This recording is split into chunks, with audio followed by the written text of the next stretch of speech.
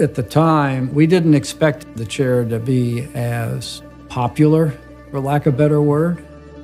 We envisioned the high tech industry liking this chair. And then it showed up in the recording industry, in the entertainment industry, and post production, and then into banks, into insurance companies. The chair overcame any kind of stigma that may have been attached to it. Didn't have leather, didn't have foam, didn't have upholstery. It defied all those.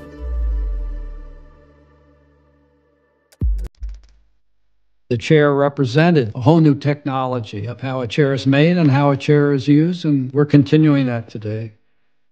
You have better back support in those different positions. You have a chair that's more available for your body type and your weight, and therefore providing more comfort. Visually, it still retains its iconography. But for pure seating and cross performance in terms of the way people work, we have a whole new suspension system we have a new tilt mechanism. The chair is more responsive, more sensitive to the body weight and body size.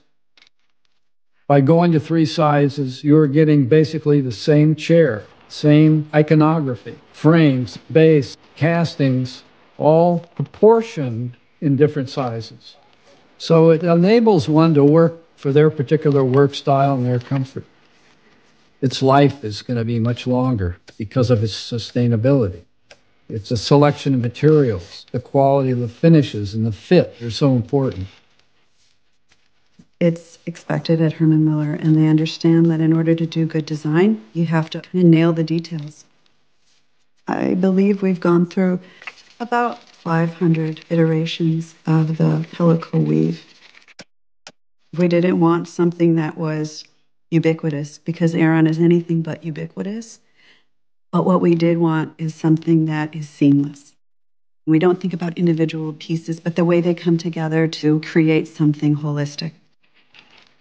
You look at it far more sculpturally, and it allows you to take in the Aeron in a very, very different way.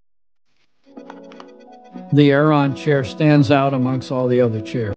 It's going to rediscover a whole new generation of users. It's really a chair of today and of tomorrow as well.